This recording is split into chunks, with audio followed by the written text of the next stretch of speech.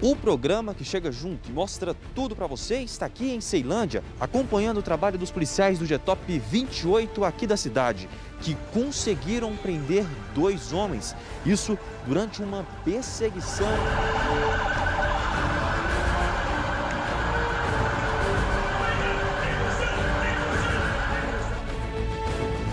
Brunoso, toda essa história começou quando esse Gol estava estacionado em um conselho tutelar aqui em Ceilândia.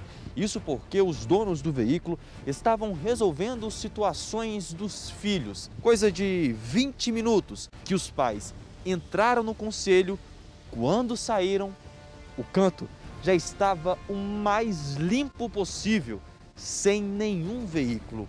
Eu encostei o carro no estacionamento para resolver umas coisas pessoais, né, de, de escola dos nossos filhos e aconteceu o furto. A gente entrou para resolver o problema e acabou que saiu e encontrou outro. E imediatamente eles acionaram a polícia, isso por volta de 9 horas da manhã.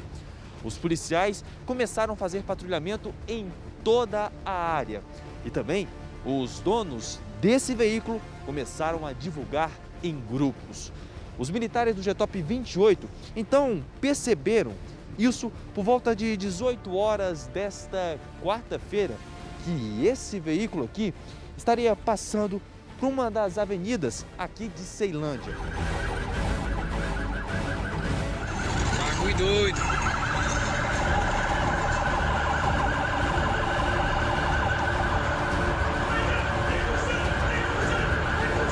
Durante o período noturno agora, nós conseguimos aí deparar com um veículo que ao, ao avistar a viatura empreendeu fuga né, por diversas quadras aí da Ceilândia Norte e foi abordado posteriormente em frente ao, ao SESC.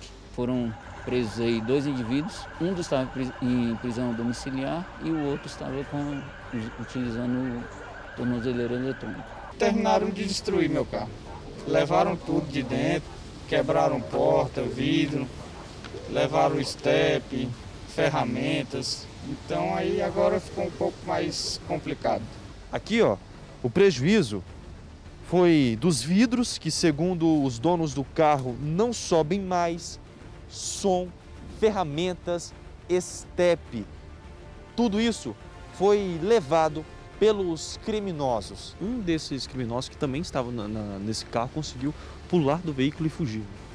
Sim, esse indivíduo durante o acompanhamento, ele ficou pendurado na porta, ele tentou pular do carro, só que ele ficou preso à porta.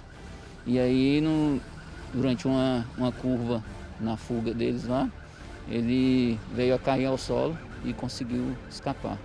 E a, a guarnição preferiu ir atrás do veículo por deter aí o condutor do veículo. DF Alerta, há 10 anos na TV, jogando a real para você.